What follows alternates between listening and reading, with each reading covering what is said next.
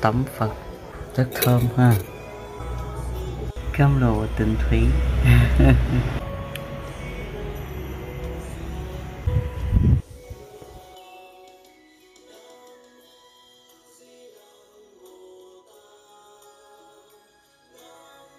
Đây. Nóng